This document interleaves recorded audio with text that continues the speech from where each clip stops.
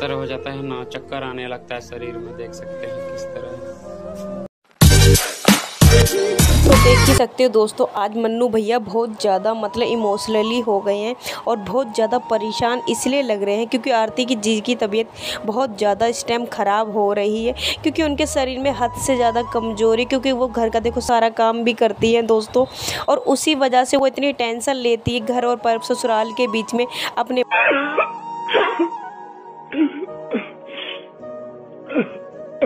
मायके के बीच है तो मन्नू भैया ने उसको अब आरती को पानी की बोतल और सुई वगैरह लगवाई थी ताकि वो उनकी हालत थोड़ी ठीक हो जाए। पानी चढ़वाने से जो शरीर